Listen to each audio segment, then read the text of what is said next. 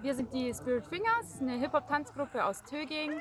Ähm, wir sind zehn Mädels im Alter zwischen 18 und 30 Jahre.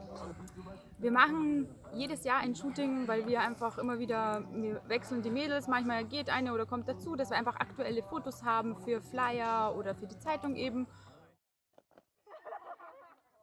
Also ich bin schon seit zwei Jahren mittlerweile mit den Spirit Fingers unterwegs. Äh, es kommt gelegentlich zu ein paar ja, Shootings, wir haben immer coole Ideen.